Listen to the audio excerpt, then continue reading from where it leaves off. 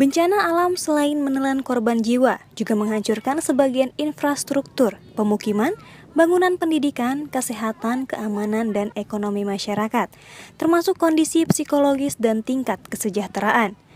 Salah satu kelompok yang paling rentan terhadap bencana alam adalah anak-anak, karena secara fisik dan mental masih dalam masa pertumbuhan.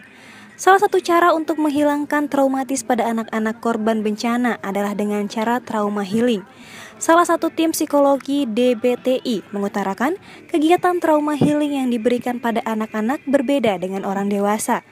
Beberapa kegiatan dapat diterapkan pada anak-anak, antara lain bernyanyi, bermain, dan menari bersama. Oke, uh, kita sudah menangani istilahnya P3K-nya ya untuk penanganan penanganan cepat untuk anak-anak. Uh, kembalikan mereka segera ke alamnya, ke apa dunia bermain ya dunia anak-anak seperti sekolah, jangan sampai terganggu. Itu P3 kita yang harus kita lakukan segera mungkin. Jadi begitu terjadi peristiwa kemarin, anak tidak boleh berlarut-larut dalam uh, kesedihan, di dalam traumanya.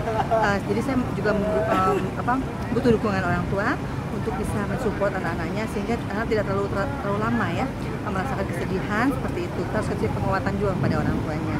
Dari Lombok Utara, Nusa Tenggara Barat, Tim Liputan, Get TV.